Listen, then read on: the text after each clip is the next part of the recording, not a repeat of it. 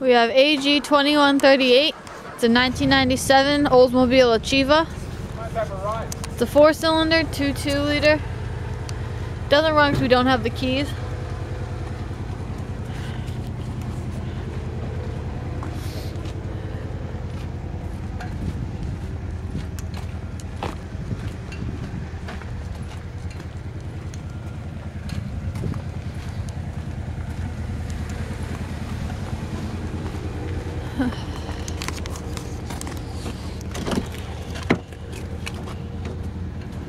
It has 116,000 miles on it.